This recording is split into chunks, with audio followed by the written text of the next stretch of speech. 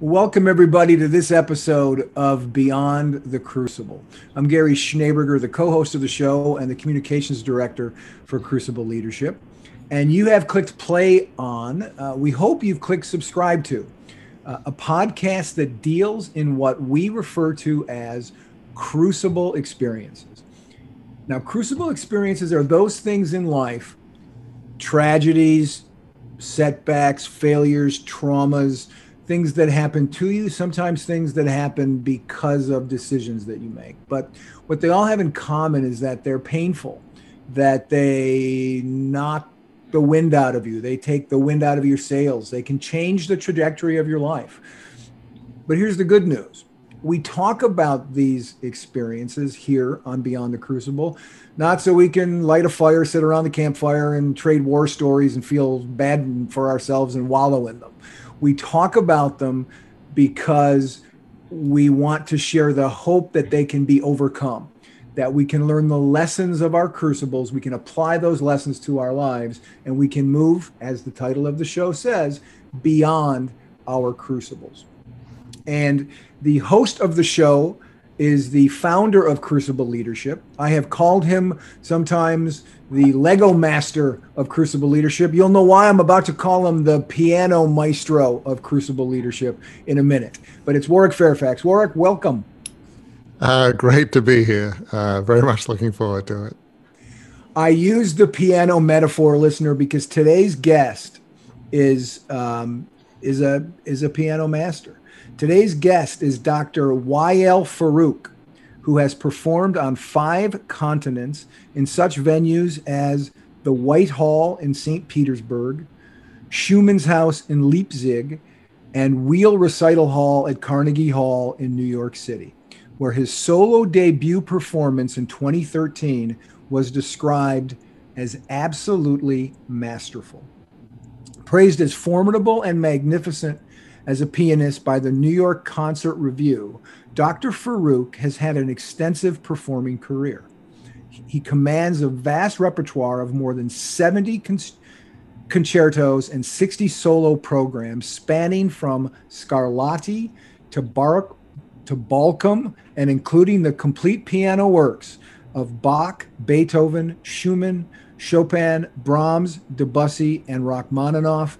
And Dr. Farouk, I apologize, I probably pronounced some of those incorrectly. Dr. Farouk is known for his groundbreaking performance projects and vast repertoire. From 2014 to 2018, he performed 30 different recital programs, including the complete solo piano works of Rachmaninoff and Brahms, as well as the complete piano chamber music of Brahms.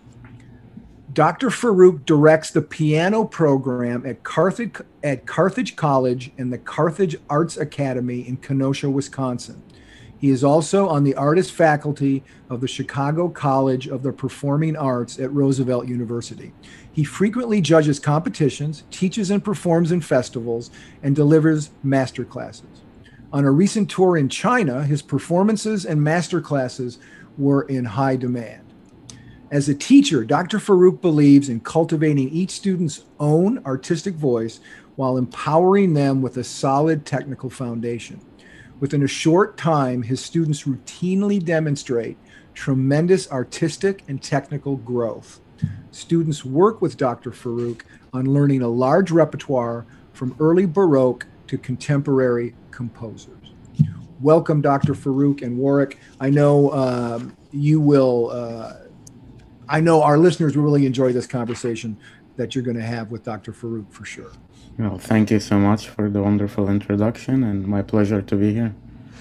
Well, well, thank you so much for being here. Um, I mean, just to have somebody of your, uh, I don't know what the way maybe passion and love and talent for playing music and just bringing music to future generations, well, current generations and future generations. It's really a a gift that you have and that you're giving. Uh, but I'd like to go back to um, you were you know born in Egypt, I understand, and from a Coptic Christian family. So talk a bit about growing up because you know I'm sure life is not easy growing up in in that environment, but it was particularly challenging for you because you had some physical challenges from birth. So you've had challenges that other kids you knew didn't have that you played with. So talk a bit about growing up in Egypt and just some of those challenges in the environment that you had. Sure, I'd be happy to. Um, as you mentioned, I was born and grew up a Coptic Christian in, in Egypt.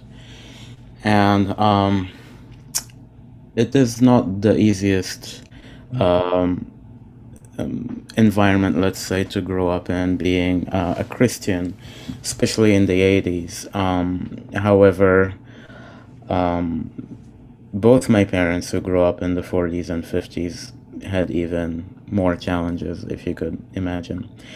Um, but without um, that kind of, of, of, challenges, I was born with very unusual um, eyes and hand situations that um, it took uh, literally um, years and decades for me to understand and for my parents to understand what are they. And um, for example my hands were very very um, unusually small. Um, I have very short finger ligaments. Till, till this day, I am unable to make a fist. Uh, mm. It's challenging for me to do, you know, some buttons and to open jars and stuff like that. Um, it took me several years to be able to put on my own contact lenses uh, because before that due to my eye uh, condition i used to wear those what do you call them um, Coke bottles bottom, uh, very, very, very right. glasses, right? So, in regards to my eyes, I was born with um, my both inner lenses are completely detached from their holding case and they're actually shifted, they're tilted, and the ligaments that um, holding them are very um,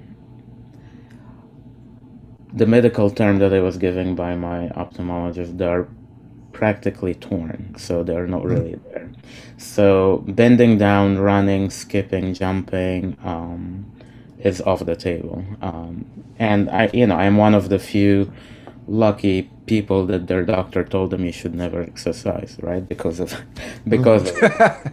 So, um, however, again, growing up in Egypt in the 80s, it was in a way difficult to to place or to really understand and unravel all of these issues right? Um, I, i've seen like a normal child yes small and in build and, and size but the the hand situation is really what i am thankful for and got me where i am today because um, around two and a half years old when my parents really realized that I am an, unable to use my hands on any on any level, unable to hold bo- bottles, cups, you know, spoons, etc.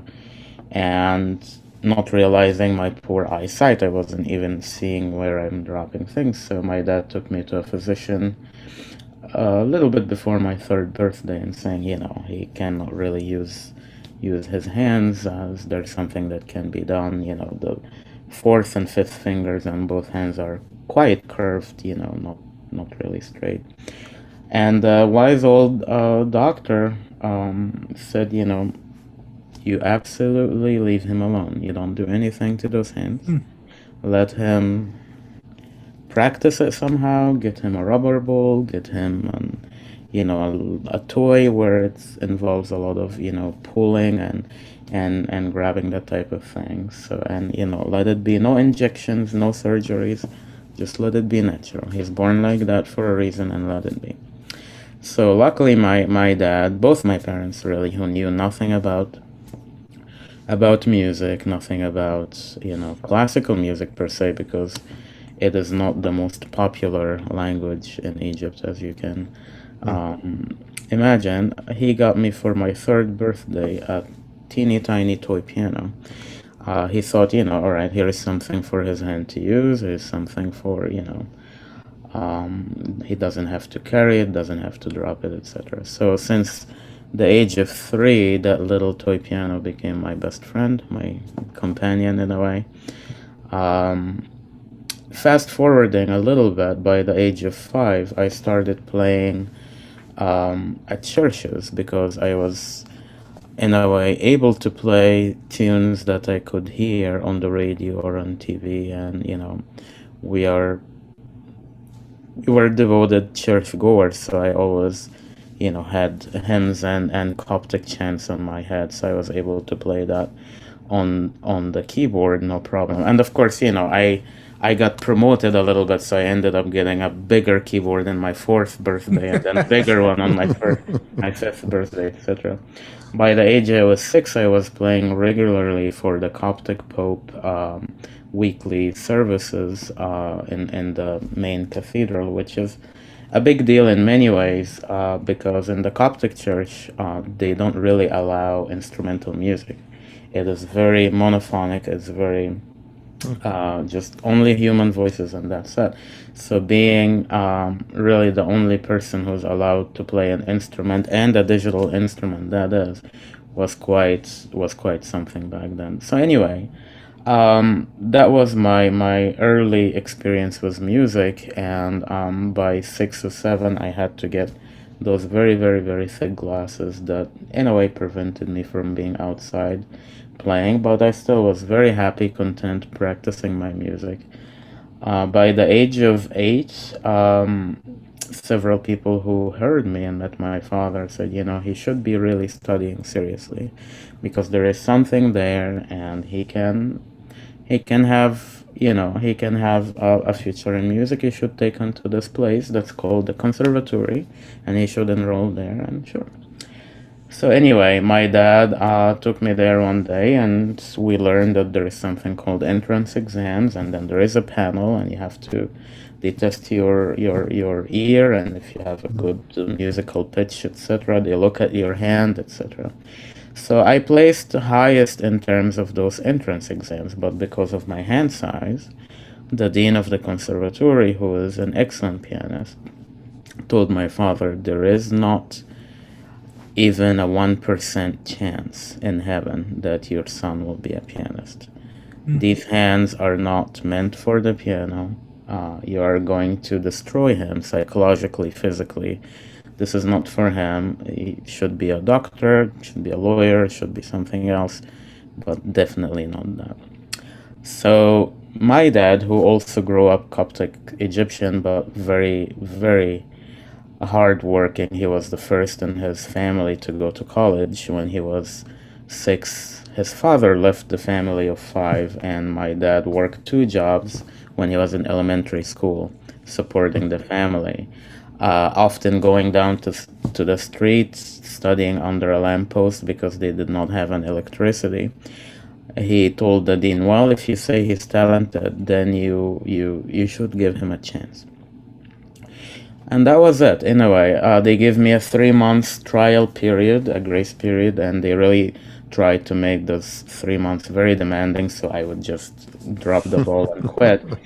Uh, so basically they expected me to do the work of two years in those three months. But being stubborn being encouraged by my dad who who has incredible work ethic and life experience i was able to stay. I graduated with the top marks, you know, in the history of the school. And those professors who told my dad he will never be a mm. pianist, they they all come to my concerts when I go back to Egypt, perform annually with the symphony, and they're all, you know, very supportive and and they are comfortable saying, you know, we, we are very glad that you proved us wrong. Boy, that is a remarkable story. I mean, there's just so many fascinating elements. Um, I mean, one of the things, obviously, as you look back, I mean, you were given a lot of challenges, but you were also perhaps given a gift in your family and your parents. Because certainly in, in many cultures and certainly in many in days gone by, I think of, um, well, you know, back in the era of Franklin uh, Roosevelt, as you know, had polio. Back then, it was considered, you know, we're talking before the 50s and you know it's almost shameful like if you had polio somehow it was your fault and you were meant to sit inside and do nothing and it was just and so I, I don't know about in the culture you grew up in but sometimes when you have a challenge rather than helping it's like well you just need to be quiet and and just be inside and not really doing anything. I mean, I don't know if that was true in culture you grew up in, but but your parents weren't like that. Your parents were saying, "No, we will do our level best to help Wael. You know, we'll to help him have a, a good life." And I mean, not every parent would have approached it with the, the level of determination and encouragement as your parents did and your dad did. Absolutely, and I cannot agree more. And um, I mean, I can give you examples from here till next month, but unfortunately, we don't have time. but um, my, my parents did not have much money to to begin with. Um, they still wanted to make sure that we had the best education. My brother and I. My parents, you know, sold items so they can mortgage a piano for me when I went to the conservatory uh, which I did not get a piano till my fifth year. With, I mean, I did not have an instrument to practice at home, uh, which is very, you know, unusual. Um, they all all the way through they were extremely supportive, extremely encouraging, extremely. But what I appreciate more now that being a parent, um, that they didn't try to to put me in a bubble. They didn't, you know, shun me from the world and try to overprotect me or over shelter me, which, you know, would have had understandable reasons, but would have had also repercussions later on. But they are very um, supportive. I mean, all the way till till my mother's last breath. I mean, she was very helpful, very encouraging. Would not let you that this is um, causing somebody else's pain. Never once worried about what I'm doing.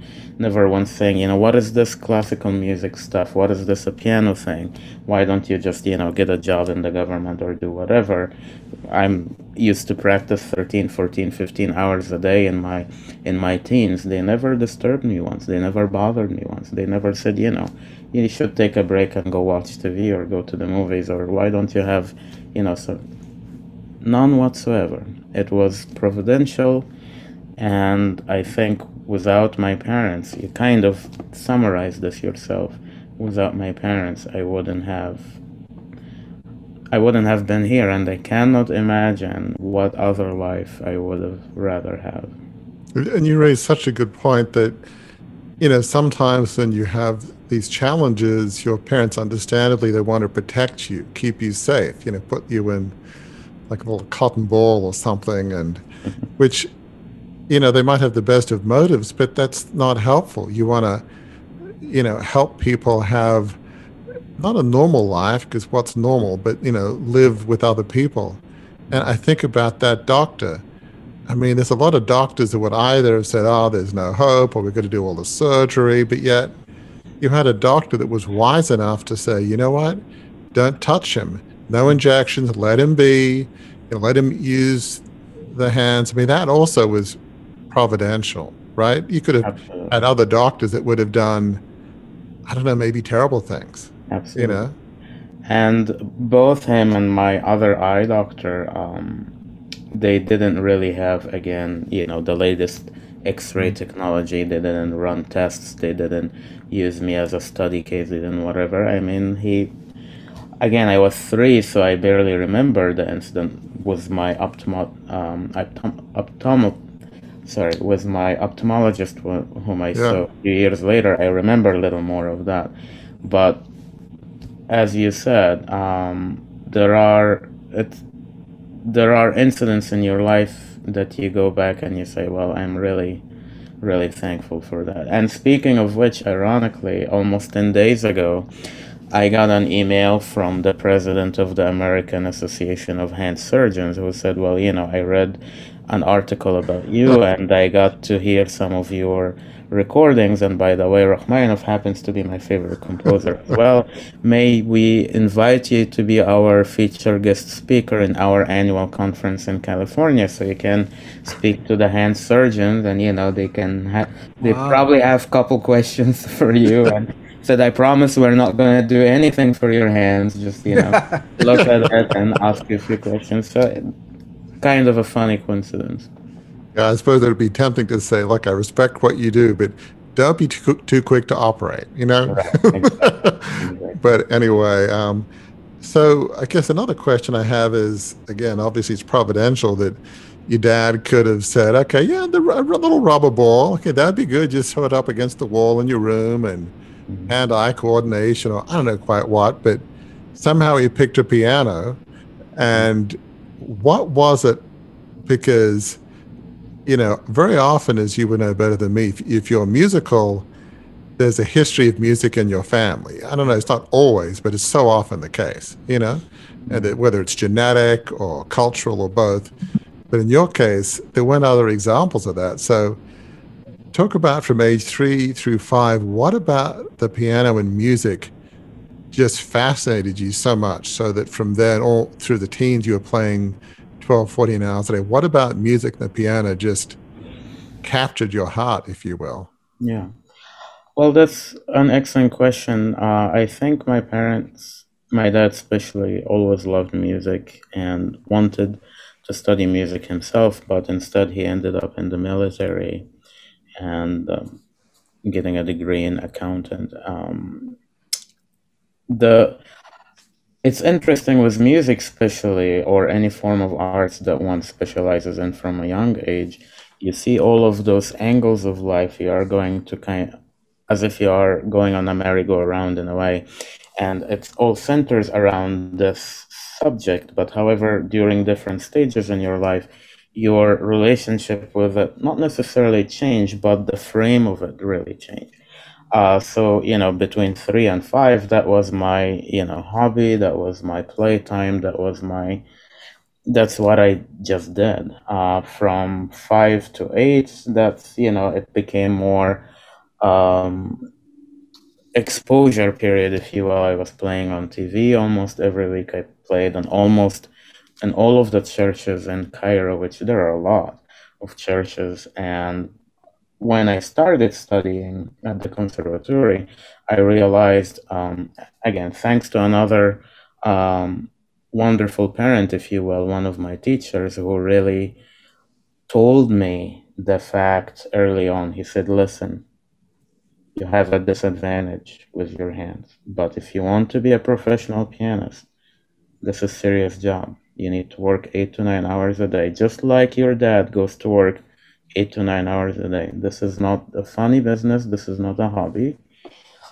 Obviously, he was very serious. He was Russian, and he, you know he was really one of the best teachers in the world. Right. And I am thankful for that because not only he gave me the facts straight, but he said, you know, it's very difficult to be a pianist here. Listen to this recording.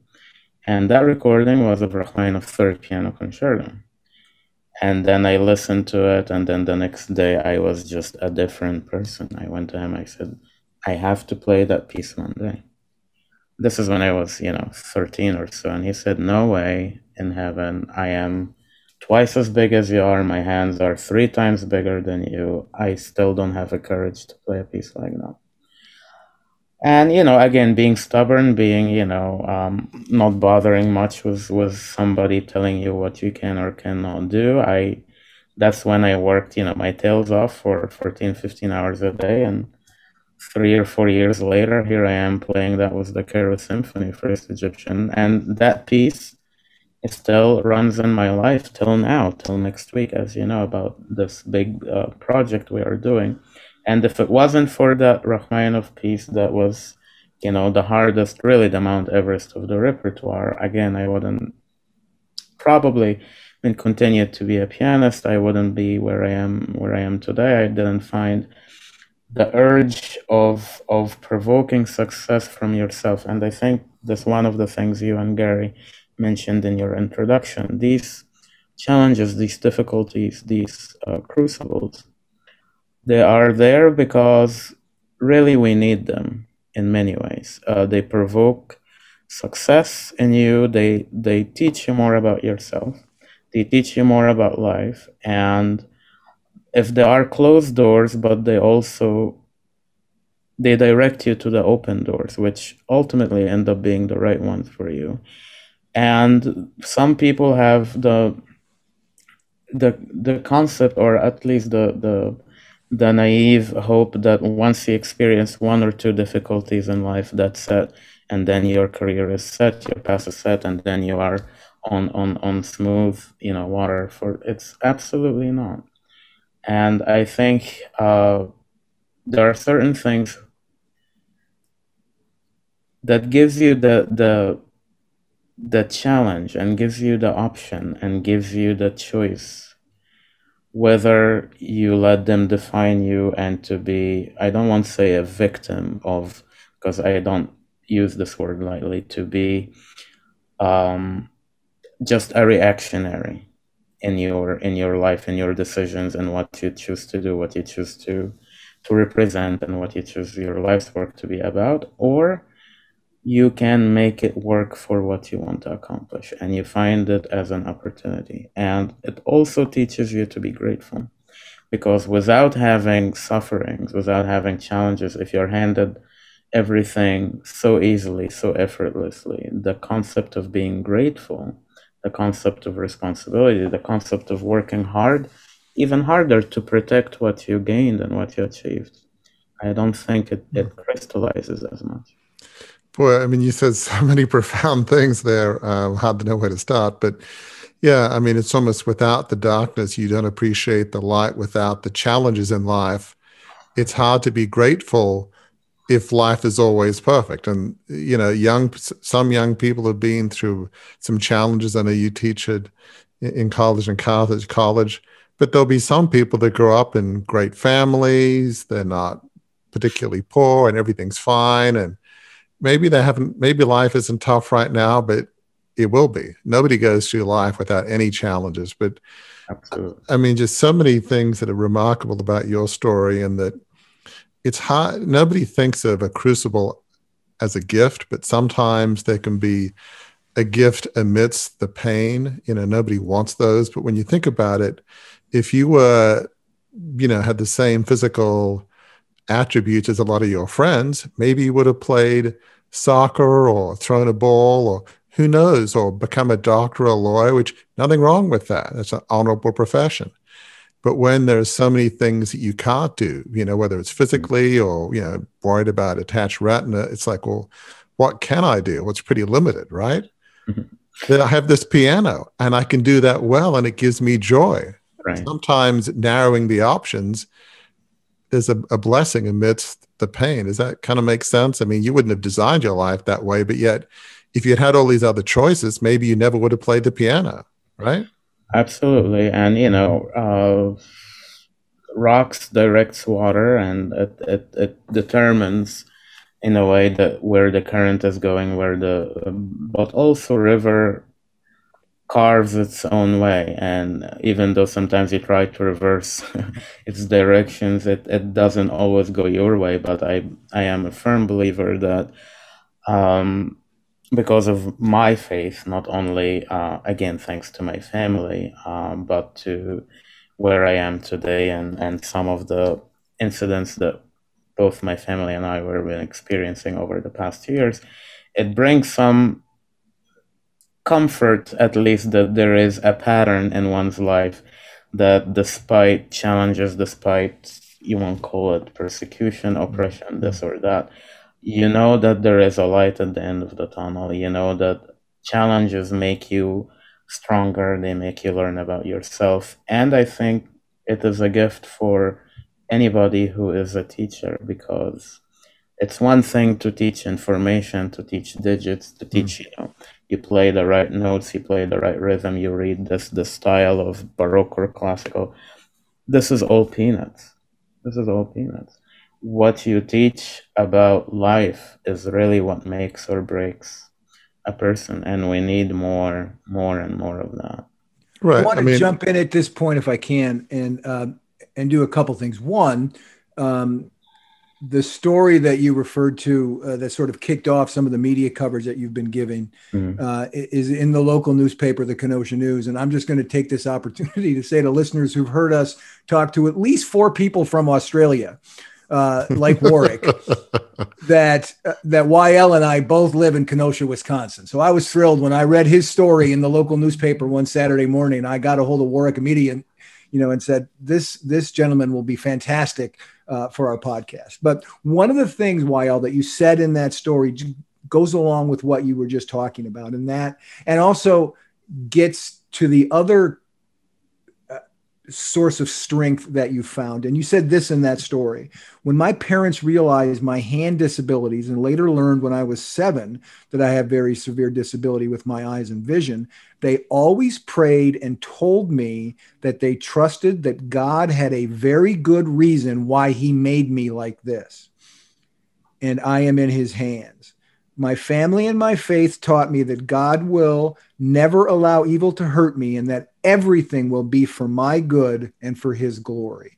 So that's part of your perspective, right? Your faith informs your perspective that these things that are crucibles are meant not for evil, but for for good in your life. Absolutely, and I am so glad that um, you brought this up um, because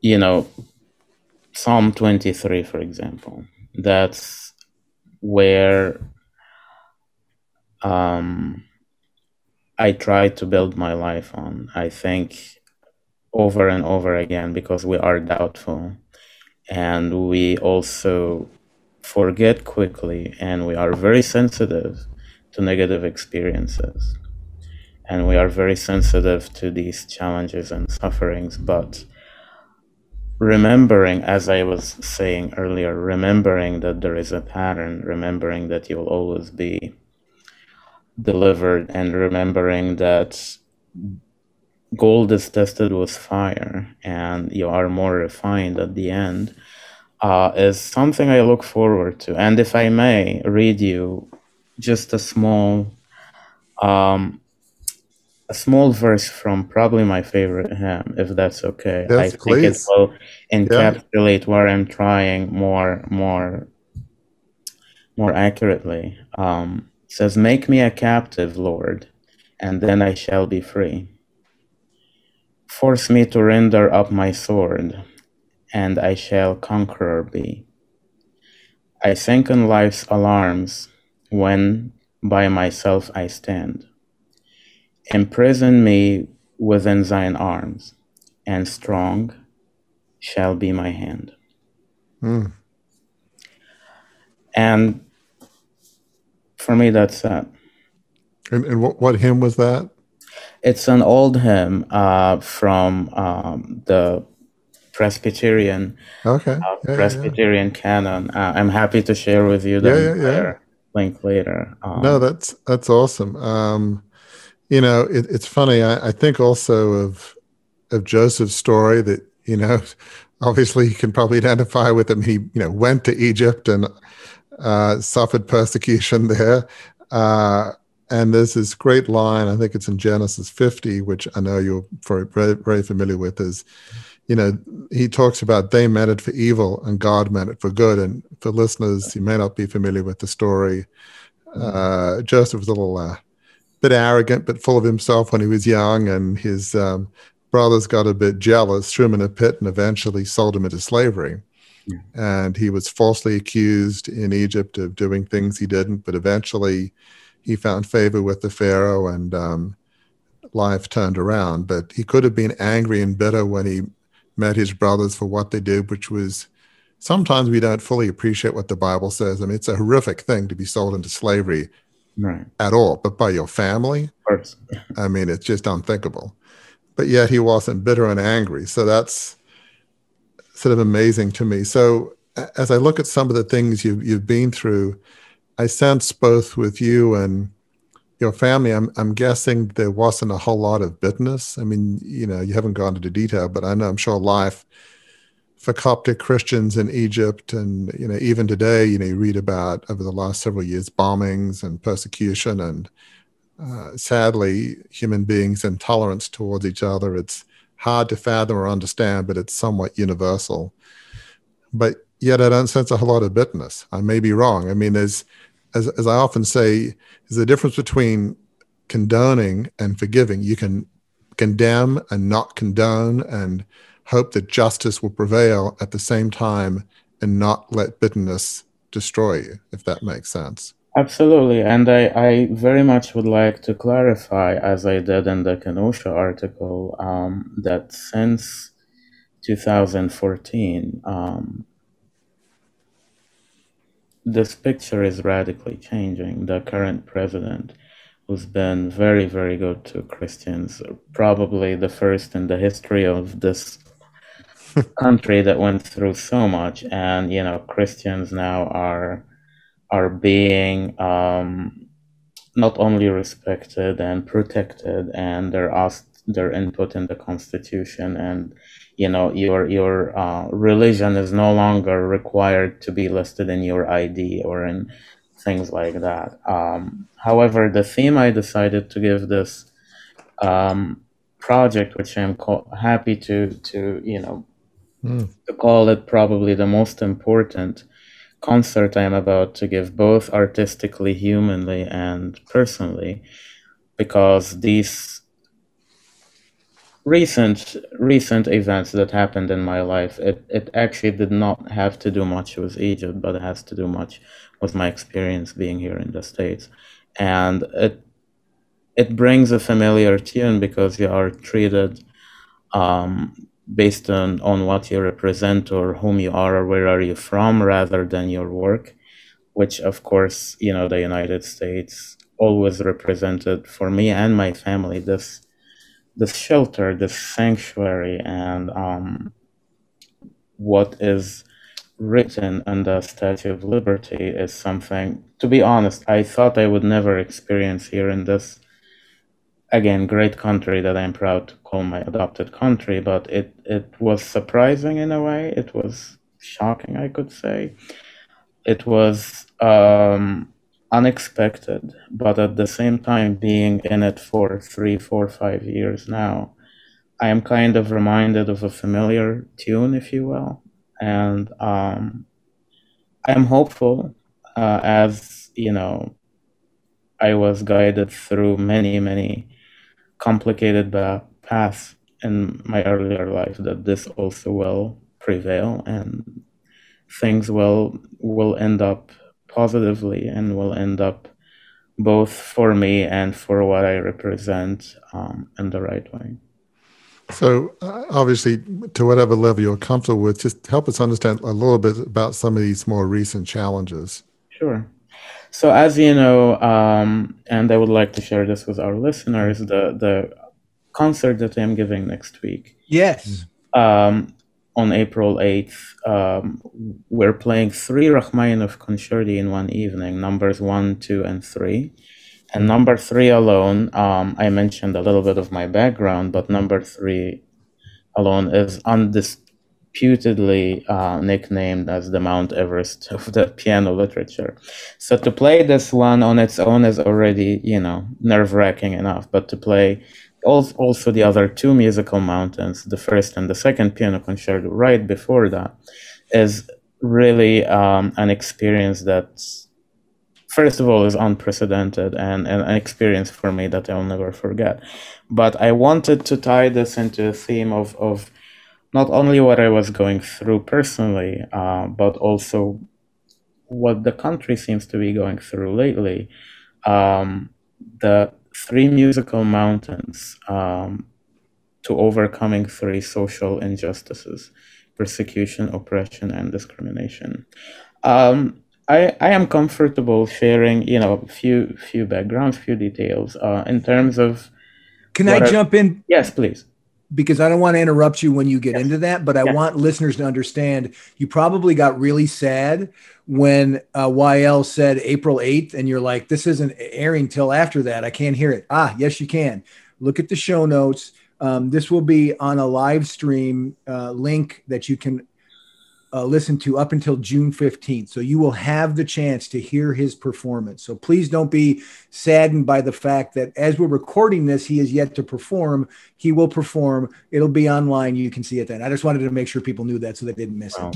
Thank you so much for clarifying that. I appreciate that. Um, when you are, let's say, um,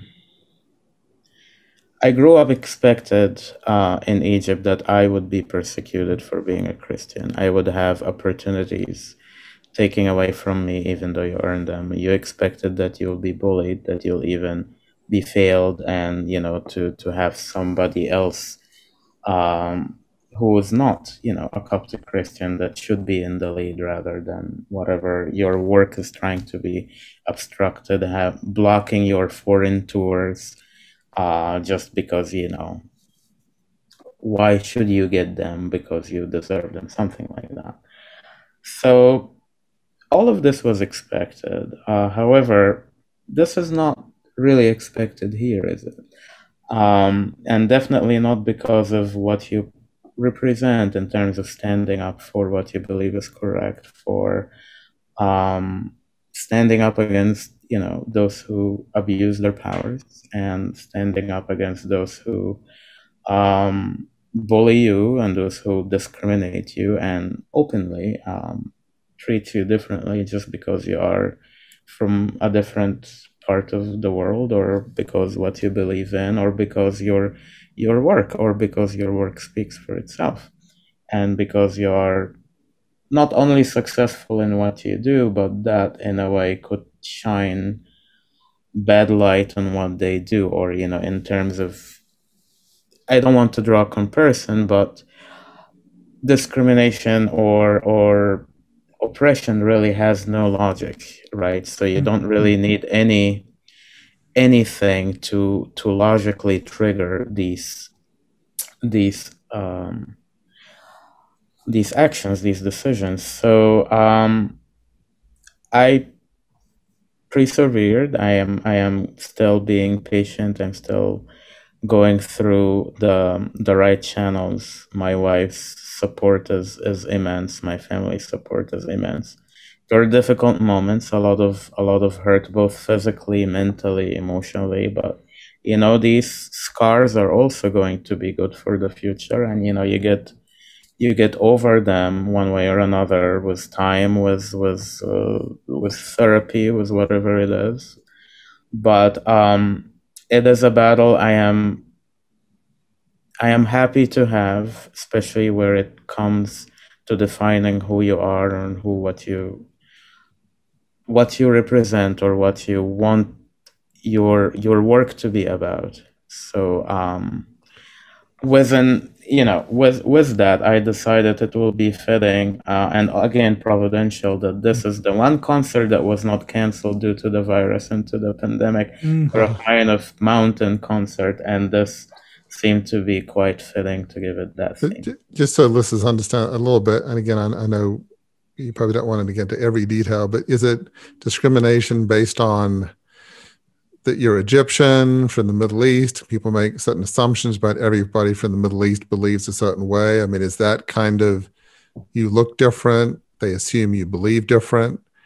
Is it is it that kind of territory or it's all of the above exactly yeah so everybody from the middle east must be evil or you know that kind of mentality you know uh yeah and uh recent events, especially that happened in our, our own backyard in Kenosha in July. Right. Um, also, you know, really uh, was was an alarming wake up call in a way that we need to be careful and we need to be how not that we need to be careful how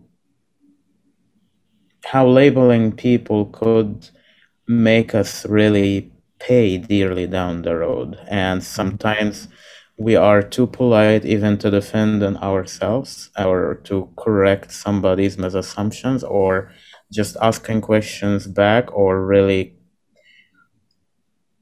for a lack of a better word defending oneself that could be viewed or skewed as being you know aggressive or as being as being you know irrational or as being whatever. But if if clarification or seeking truth becomes secondary to anything, we will pay dearly. And I'm not just talking about those who are in certain minorities. I mean, if history taught us anything, few, just a little bit of, of, of, of drifting from the right path will cost will cost us dearly. So I am yes I am glad that again this has been put in my life. I don't understand those reasons right now, uh, but I'm as my faith has taught me, as past experiences has taught me, I'm sure it's for the good. I'm sure it will also help me be stronger. I will understand myself better. Um,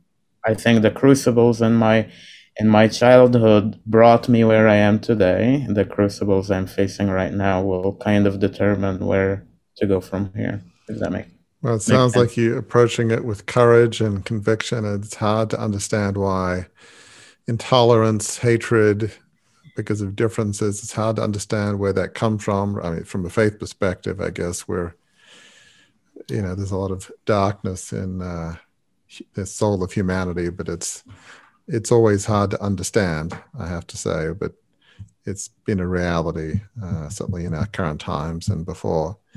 Um, so thank you for sharing that. And so, talk a bit about this concert. Um, I mean, I love how you're combining both your love for music as well as you know to stand up for, for justice against discrimination, oppression, and persecution.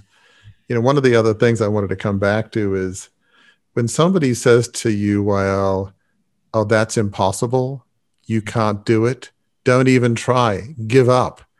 That's almost like, now that you've said that, then I have to try it, right? it's like, you know, somewhere I think I read that Rachmaninoff was, I don't know what, six three, six six, some massive size and you know, massive wingspan and probably huge hands. And so it's fine to, for him to write concertos that he can play, but what about the rest of humanity? you know, I guess he didn't really care about that. Hey, I'm good. I can play my own music. Mm. Um, but you would take on something that you, music teacher said, give it up, Wael. You'll never do it. Mm. But yet it's almost like this challenge that's so talk about why when somebody says it's impossible for you, why why that becomes like this lightning rod, this challenge, this rallying cry. Here we go, let's go for it. Why right. does that? What you know? Tell tell me about how does that happen for you? Sure. Um, I haven't been asked this before, so it will take me a little bit to get there. Uh, I'm happy to answer it. It's a great question. I think it. I need to answer this question to verbalize it for myself.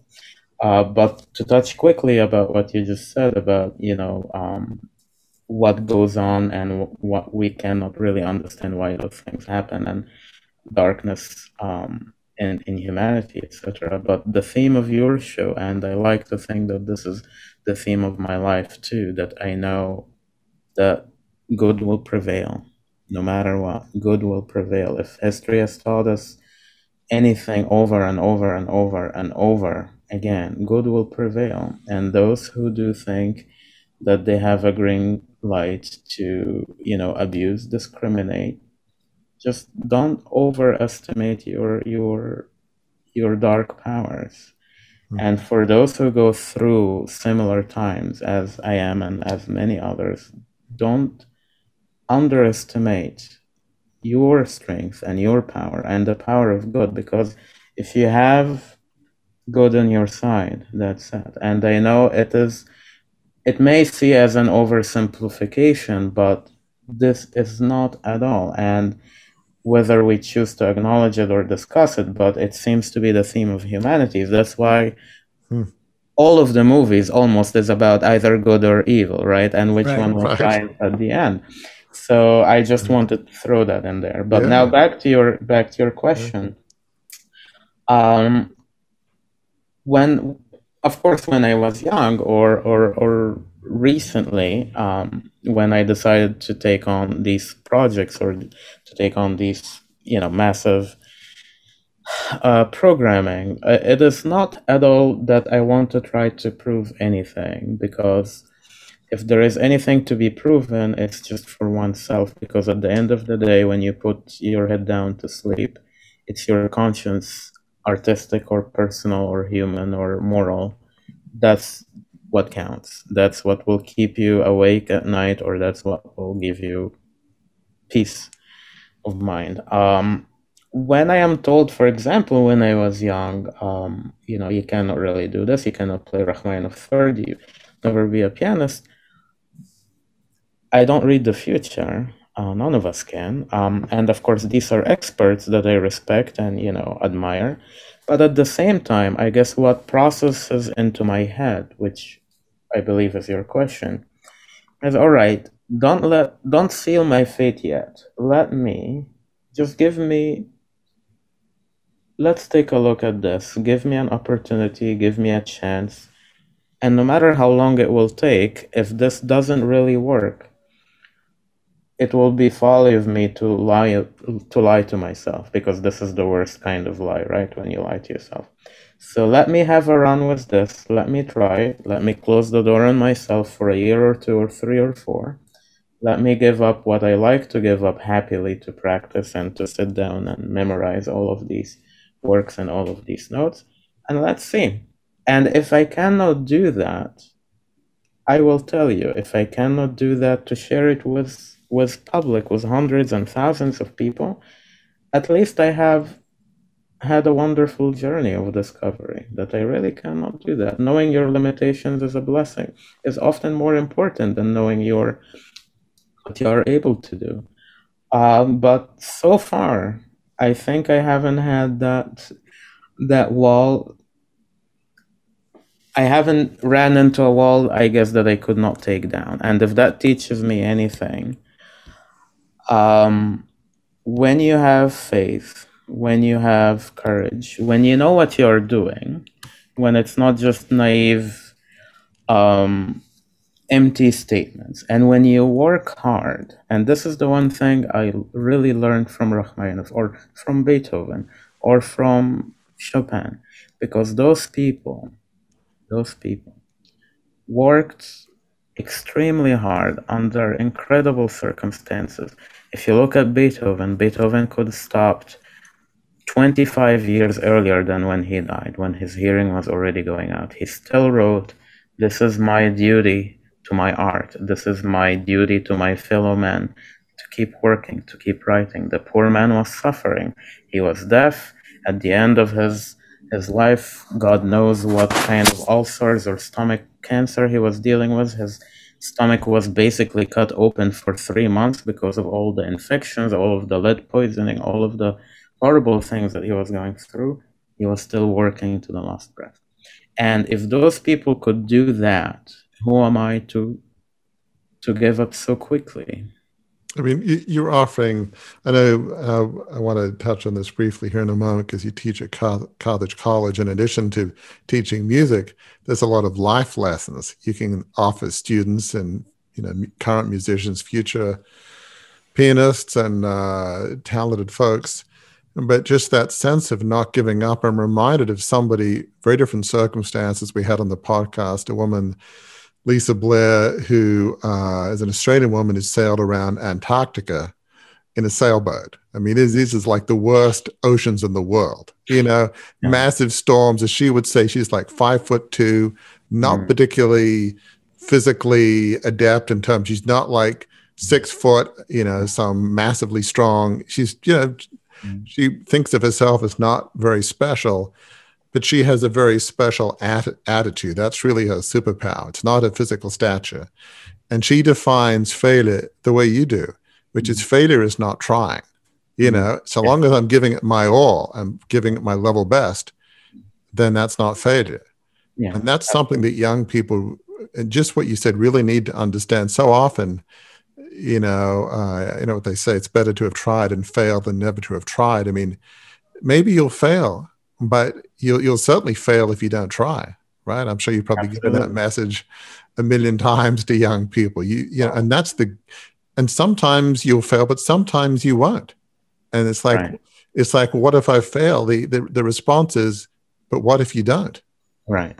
Right. And even if you do so what right? Right exactly. It it doesn't define you and if you are going into life expecting that it will be a disney movie perfect then you know it's better to it's better really to wake up. Even in disney there are some hard times and uh, my best word of advice that really comes to mind when when edison says i didn't fail 2000 times to make a light bulb work i found 2000 ways not to make a light bulb work, because knowing what not to do is extremely helpful. And and that's and I'm very I love that you you bring that that up. People often think, um, you know, somebody in Hollywood or a pianist, oh, they was sort of an overnight success. Well, there's no such thing you know, not, I mean, in most cases, mm. Edison's a great example. In a lot of the creative arts, and you would know much better than I would about composers, but typically, as you've described with Beethoven or Mozart, there's hours and hours and years and years of intense work that leads to what we might think is some of the greatest masterpieces of music ever written.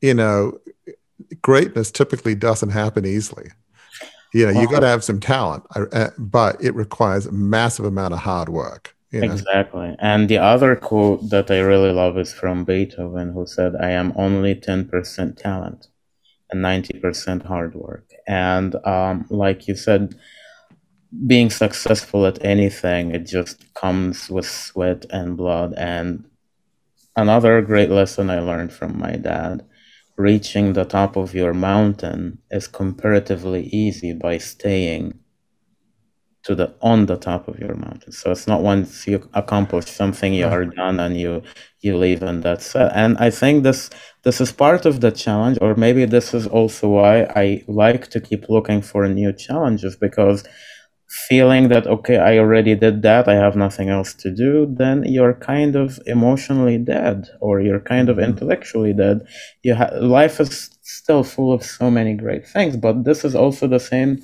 thing in chess i was just watching a bobby fischer interview you know and uh, mm-hmm. and the, the the the host is asking him well what's now for you You're already the the champion of the world and he says well i have to find something to do i cannot just sit for three years till my game. And the same was, you know, with Pushkin or Dostoevsky or Tchaikovsky yeah. or Rachmaninoff yeah. or or Beethoven or Bobby Fischer. So yeah.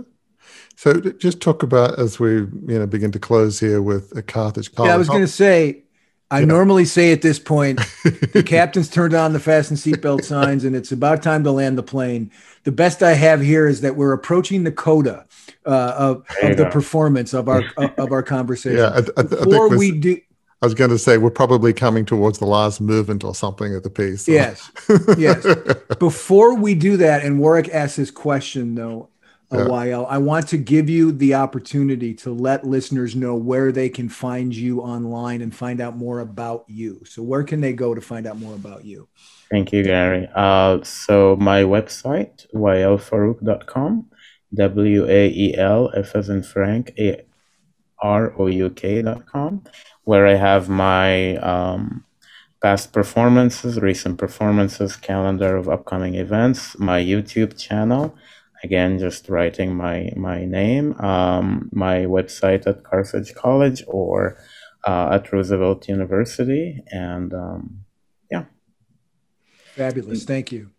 So just talk as we close here at Carthage College. Me obviously love playing music and just you know, helping people understand the joy of some of these incredible pieces, whether it's you know Rachmaninoff, Chopin, Beethoven, and all of the other ones you play. But yet you also teach. Talk about how teaching students at Carthage College gives you joy. What what about that? I mean, you know, you could just play music, but there's something about that that clearly you love teaching yeah. students about music? What is it about that that you love? Yeah. Well, that's a great question. Um, there are so many nuances here. Teaching is also learning at the same time because it's two-way street. Uh, finding there are certain things that I do naturally and I do instinctively when I play, and certain things perhaps that I didn't find very much challenging, right?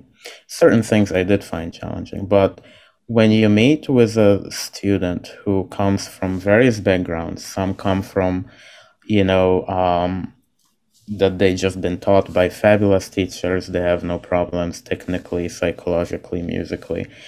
And some others have deficiencies in one or all of those three areas. And then having to think, first of all, analyze, just like a physician when you go and dealing with with different patients with different symptoms analyze that, trying to understand it, trying to find the antidote. Um, and sometimes the first one works great, sometimes the tenth one only works great. Um, but going through these classes, discovering new ways of new verbalizations of new ways or, or of demonstration how to get the information how to understand how the hand and the body and the brain work it's it's a very complicated very complicated job uh, much more so than some people um, think especially if you do it on a professional level not just on a recreational you know for for for hobby or therapeutically. But going through that and at the same time because we deal with with a great wealth of history right? And or at least what i like to do when when i teach music when i teach piano that i don't just work with a student on this Chopin concerto or the Chopin ballade. We get to know who Chopin was. We get to know about the French Revolution. We get to know about the Polish Revolution. We get to know about the the Russian uh, invasion of, of Poland and you know 1840 and you know the the 80 year war, the 30 year war, etc. etc. Mm-hmm. What did Franz Liszt stand for politically? What did Rachmaninoff stand for politically? What how because those people were were timekeepers and were mirrors, like all artists, of what was happening culturally, um, in terms of history, in terms of their own, um, of their own view of the world. And you probably cannot find a better time capsule than that because they are very accurate. Mm. So we we delve in, into all of that, and of course, that really shapes the life of a young person in, in a hmm. wonderful way and also knowing that no matter what challenges you have mentally, emotionally, physically, we all have our scars on the inside or the out.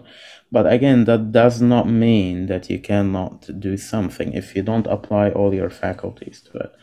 But seeing at the end that critical faculties develop in them, seeing that they become their own teachers in a way because it's one thing to tell somebody okay here is you solve the problem here is what you should do here is you how you prepare for a piece how you prepare for an, a competition for an audition for a concert. But to work with them over the two or three or the four years you have sometimes longer to become their own teachers because no matter what a great teacher you study with at the end of the path you are on your own. But if you know how to take care of yourself personally, musically, artistically, and always grow, always find new information, to always learn, to always um, develop. I think this is very, very, very rewarding. It's hard work. It takes a lot of time, especially it takes a lot of time away from your practicing. but it is our responsibility in a way because I was giving so much by all my teachers freely and lovingly, and I wouldn't trade this for the world. Um, and I spend time with my teacher more than I spend with my parents. And um, and I'm just proud and, and honored to be given an opportunity to present something like that to somebody else. Mm. Wow. That Thank sounds you. a lot like a maestro hitting his final note right there. That's what that sounds like to me, listeners. Um, before we go, um, I want to leave you listeners with something that before we hit record on this episode, Warwick and Wael were were talking about, and they were joking. They were laughing that their initials are the same: Warwick Fairfax and Wael Farouk. And we have guests, as, as you've heard me say before, we have guests fill out these forms to help us prepare for the podcast, and we ask a number of questions. And one of the questions that we ask is what's one bit of advice you would give listeners to help them overcome crucibles? And this is what Wael wrote. But what what struck me about it as I was reading it is that this quote, I could take this quote and I could put it was said by the initials WF, and you wouldn't know whether it was Warwick Fairfax or it was Wael Farouk who says it. And here's the quote Our lives, in many ways, are defined by how we act in the face of suffering and calamity. We are bound to go through rough waters, but this is for the good.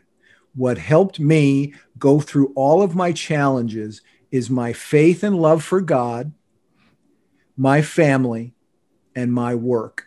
That, listeners, defines both of the men that you've heard talking on this conversation today and Beyond the Crucible. And until we're together the next time, listeners, um, if you want to know more about Crucible leadership and about Beyond the Crucible, we've got some exciting things you can discover at our website, crucibleleadership.com. There's there's lots of new content, lots of new information coming. Go check us out. Check those things out because you'll be um, you'll be excited, I think, by what you'll see. And, and again, until the next time we are together, remember what we've discussed here, the truth of what we discussed here. Your crucibles are painful what Wael discussed was painful to him, has been, continues to be painful to him, but is so far from not the end of his story. And it's so far not the end of your story. Because if we learn the lessons from our crucibles, if we apply the lessons from our crucibles, it's not the last chapter of our story. It can be the beginning of a new chapter that can lead to the best chapter of our lives because the end result, where we get to that destination, is where Warwick's ended up, is where Wael's ended up, and that is at a life of significance.